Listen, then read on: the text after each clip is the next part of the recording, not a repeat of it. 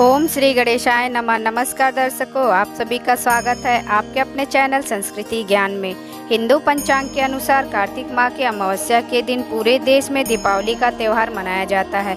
इस दिन माता लक्ष्मी और गणेश जी की पूजा की जाती है, लेकिन पश्चिम बंगाल उड़ीसा और असम के कुछ हिस्सों में इस दिन माता काली की पूजा की जाती है। आइए जानते हैं साल 2023 में काली पूजा कब है? पूजा का शुभ मुहूर्त, अमावस्या तिथि कब शुरू होगी, कब समाप्त होगी, पूजा विधि के बारे में जानेंगे। माँ काली की पूजा अक्सर रात में की जाती है। मान्यता है कि दिवाली की रात माँ काली की विधि विधान से पूजा करने से जीवन में आ रही परेशानियों से छुटकारा मिलता है। जीवन में सुख समृद्धि आती है। माँ काली की पूजा रात में की जाती है, इसलिए पूजा से पहले स्नान आदि से निर्वित हो जाना चाहिए।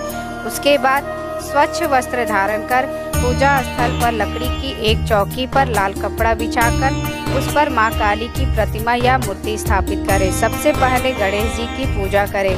उसके पश्चात माँ काली को पंचामृत से स्नान कराए। माँ काली को लाल फूलों की माला पहनाए। इसके बाद माँ काली को तिलक कर रोली, कुमकुम, हल्दी आदि अर्पित करे। श्रृंगार की सामग्री अर्पित करे और सरसों के तेल का दीपक जलाए।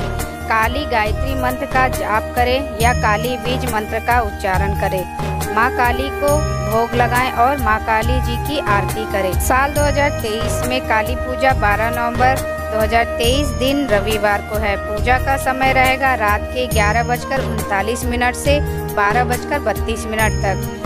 अमावस्या तिथि प्रारंभ होगी 12 नवंबर की दोपहर दो बजकर चौवालीस मिनट पर। अमावस्या तिथि समाप्त होगी 13 नवंबर की दोपहर दो बजकर छप्पन मिनट पर। दर्शकों, आपको यह जानकारी पसंद आई हो तो प्लीज़ हमारे चैनल को लाइक, शेयर और सब्सक्राइब करना ना भूलें। धन्यवाद।